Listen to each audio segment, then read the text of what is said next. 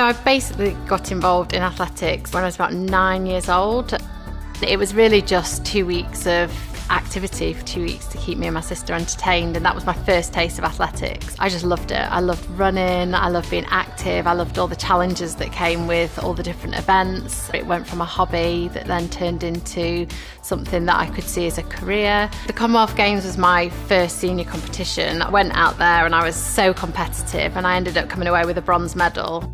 After 2009, you know, winning my first world title, I felt like I was just riding this wave of success.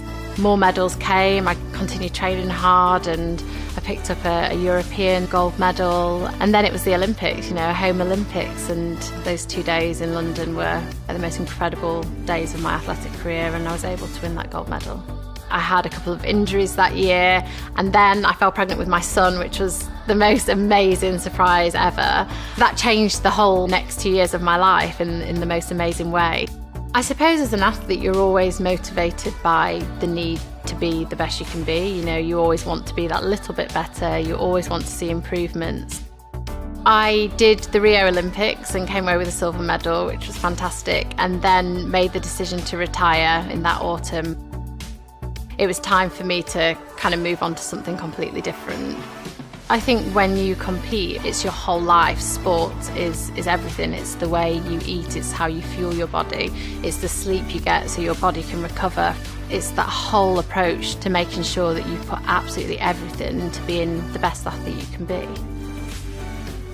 Sleep is a huge part of why you're able to train, firstly, at the level that you train. You need to be recovering, and it's more so about rest, it's about how you sleep, you need to have that quality sleep to excel in what you're doing. My life has changed so much. Life with two kids and all the other things that are surrounding our life at the moment is it's hectic. I definitely appreciate the time for good quality rest and sleep now more than I ever have. If I can have a good night's sleep, yeah, you just feel refreshed and ready to, you know, to tackle the day ahead. That's why I take my sleep seriously and choose Sleepeezee as my go-to brand because everything's easy when you sleep easy.